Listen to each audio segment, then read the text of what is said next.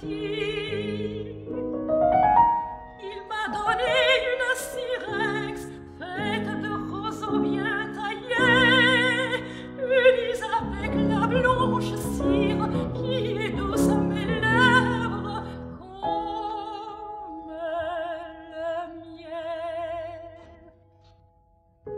Il.